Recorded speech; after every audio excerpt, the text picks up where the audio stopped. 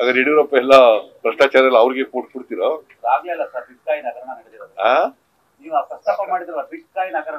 ಹಾ ಬಿಟ್ಕಾಯಿನ್ ಹಗರಣ ಅದು ರೈಸ್ ಮಾಡಬೇಕು. ಅದೇ ಅದೇ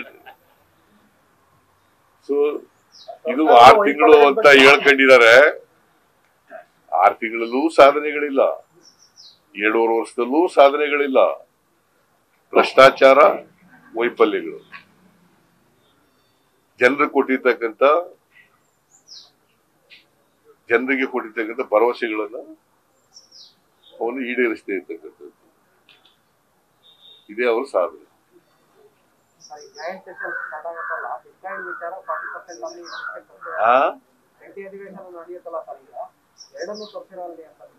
ನಾನು ಕೊಟ್ಟಿದ್ದೆ ಅದನ್ನ ನೋಟಿಸ್ ಕೊಟ್ಟಿದ್ದೆ. ಬರಲಿಲ್ಲ.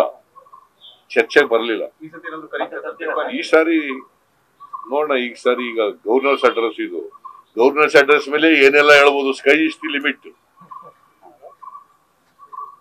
governor's address ಮೇಲೆ ಎಲ್ಲನೂ ಹೇಳ್ಬೋದು. ಏನೇನು ಹೇಳಕ್ಕಾಗತ್ತೆ ಇವ್ರ ವೈಫಲ್ಯಗಳು ಇವ್ರ ಭ್ರಷ್ಟಾಚಾರ ಎಲ್ಲನೂ ಹೇಳ್ತೀವಿ.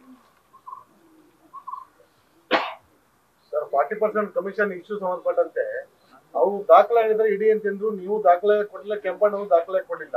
ಹಂಗೆ ಹೆಂಗ್ ಸರ್ ಅದನ್ನ ಪ್ರೂವ್ ಮಾಡ್ತೀವಿ ಕೆಂಪಣ್ಣ ಕೆಂಪಣ್ಣ ಏನ್ ಹೇಳಿದಾರೆ ಅಂದ್ರೆ ತನಿಖೆ ಮಾಡಿಸಿ ನಾವು ದಾಖಲೆ ಕೊಡ್ತೀವಿ ಅಂತ ಹೇಳಿದ್ದಾರೆ ತನಿಖೆ ಸರ್ ಎ ಸಿ ಎಸ್ ಜೊತೆ ನೇತೃತ್ವದ ತನಿಖೆ ಕಮಿಟಿ ಕಾನ್ಸೆಪ್ಟ್ ಮಾಡಿದ್ದಾರೆ ಅವರು ಎ ಸಿ ಅವ್ರಿಗೆ ಏನೋ ಯಾವ್ದೋ ಡಾಕ್ಯುಮೆಂಟ್ ಸಬ್ಮಿಟ್ ಮಾಡಿಲ್ವಂತೆ ಎ ಸಿ ಎಸ್ ಮೂಲಕ ಮಾಡಿಸ್ತಾರೆ ಯಾರಾದ್ರು ಅವ್ರ ಮೇಲೆ ಆರೋಪ ಇರ್ತದೆ ಅವ್ರ ಮೇಲೆ ಇದೆಯಲ್ಲ?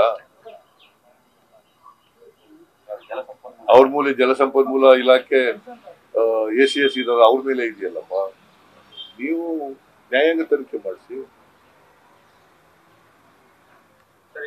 ಪಂಜಾಬ್ ಅಲ್ಲಿ ಸರ್ ರಾಹುಲ್ ಗಾಂಧಿ ಅವರು ಮಾತಾಡಿದ್ದಾರೆ ಮುಖ್ಯಮಂತ್ರಿ ಯಾರು ಅಭ್ಯರ್ಥಿ ಆಗ್ತಾರೆ ನಾವು ಜನಗಳನ್ನ ಕೇಳ್ತೀವಿ. ವಾಟ್ಸ್ಆಪ್ ಅಲ್ಲಿ ಮೆಸೇಜ್ ಮಾಡ್ತಾರೆ ಇಮೇಲ್ ಕಳಿಸ್ತಾರೆ ಅಂತ.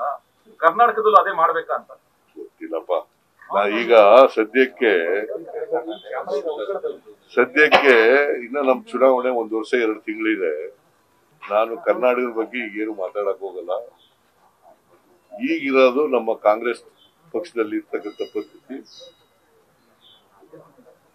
ಮೆಜಾರಿಟಿ ಬರಬೇಕು ಪಕ್ಷ. ಎಂ ಎಲ್ ಎಗಳ ಅಭಿಪ್ರಾಯ ಹೇಳಬೇಕು. ಹೊಸದಾಗಿ ಗೆದ್ದಂಥವ್ರು ಅದರ ಅಭಿಪ್ರಾಯ ಮೇಲೆ ಹೈಕಮಾಂಡ್ ತೀರ್ಮಾನ. ಸರ್ ಸಿಎಂ ಇಬ್ರಾಹಿಂ ಏನೋ ಮಾತುಕತೆ ನಡೆಸಿದ್ರೆ ಸರ್. ನಿನ್ನೆ ಕುಮಾರಸ್ವಾಮಿ ಅವರು ಭೇಟಿ ಮಾಡಿ ಅವ್ರ ಜೊತೆ ಮಾತುಕತೆ ನಡೆಸಿ ಪಕ್ಷಕ್ಕೆ ಬರ್ತಾರೆ ಅಂತ ಹೇಳಿದ್ದಾರೆ. ಕುಮಾರಸ್ವಾಮಿ ಬಗ್ಗೆ ಮಾತಾಡಲ್ಲ. ಇಬ್ರಾಹಿಂ ಬಗ್ಗೆ ಇಬ್ರಾಹಿಂ ಬಗ್ಗೆ ನಾನು ಹೇಳಿದ್ದೀನಿ ನಿನ್ನೆ ಸ್ಪಷ್ಟವಾಗಿ. You will not leave the party you will not go to J D S News First ಪ್ರತಿಕ್ಷಣ ನಿಮ್ಮೊಂದಿಗೆ.